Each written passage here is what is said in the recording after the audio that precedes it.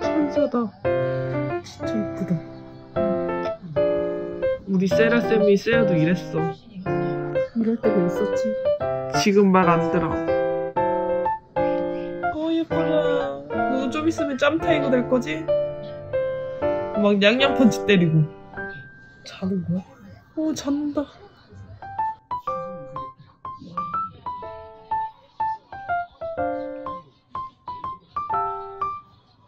예뻐. 어 예뻐. 응. 음. 젤리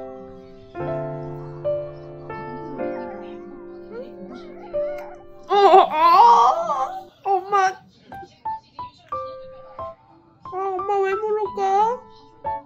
진짜